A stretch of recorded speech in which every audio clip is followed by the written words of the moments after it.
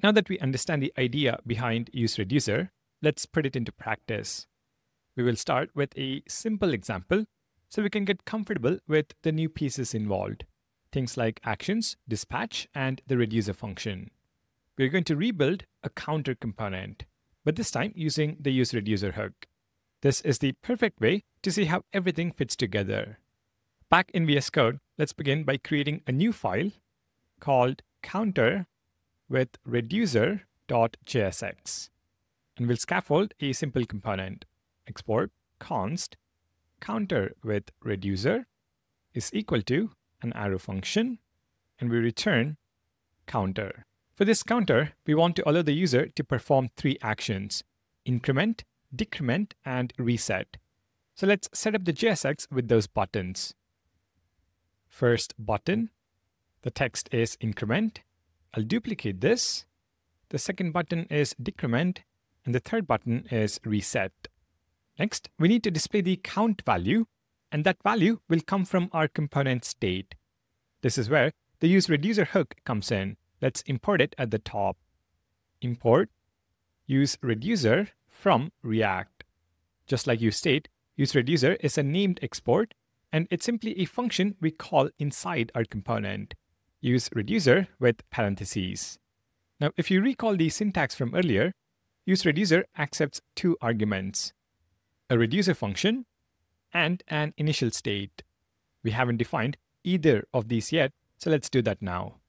For our counter, the state will just be a number. So const initial state, and we'll start at 0. Next, let's define the reducer function. const reducer is equal to an arrow function. Now this is a JavaScript function that takes two parameters, the current state and an action describing what happened. The function must return the new state, which we will specify as a comment for now. So the reducer function accepts the current state and returns the new state. But for this state transition to happen, we need something to tell the reducer what kind of transition to make. That's exactly what the action parameter is for.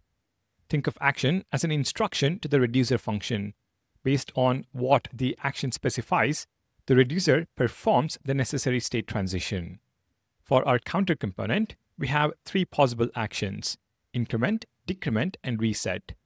And the easiest pattern to handle multiple actions is a switch statement.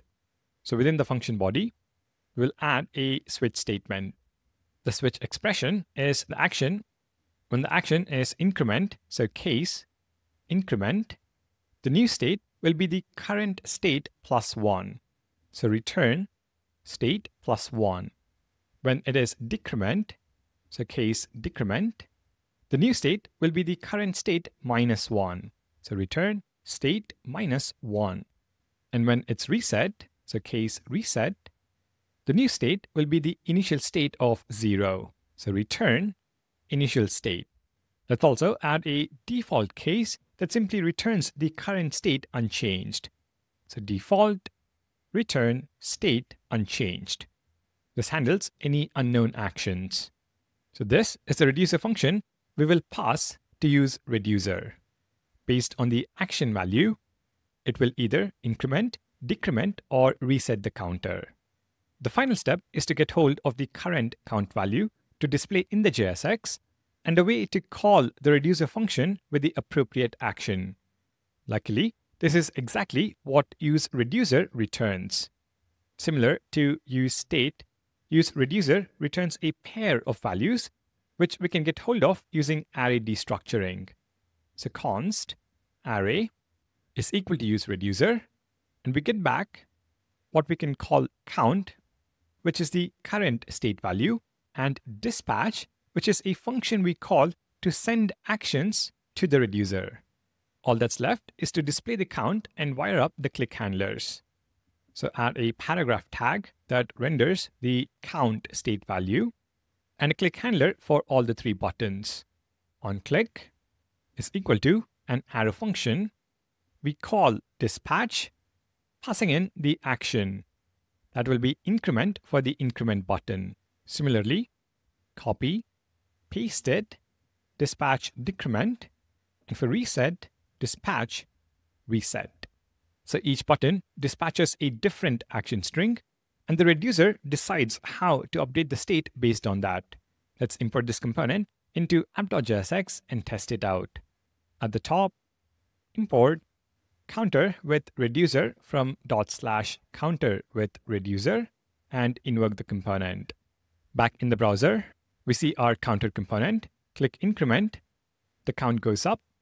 Click decrement, it goes down. Click reset, back to zero. Let's trace through what happens when we click increment.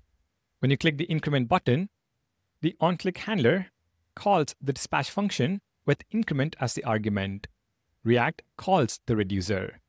It passes 0 as the initial state value and increment string as the action. Reducer sees action is increment and returns 0 plus 1, which is equal to 1. React updates the state to 1, the component re-renders with the new count. Similar steps happen for decrement and reset as well. Now we did write a lot of code, so let's walk through the complete code one more time. We start by importing useReducer from React. Within the component, we call useReducer, passing in a reducer function and the initial state. The initial state is zero because that is where the count starts. The reducer function accepts the current state and an action, then returns the new state based on that action. If the action is increment, it returns state plus 1. If it's decrement, it returns state minus 1. If it's reset, it returns the initial state. And if an unknown action comes in, we return the state unchanged. Back to use reducer, it returns a pair of values. The current state value, which is called count in our example, and a dispatch method that accepts an action and triggers this reducer function.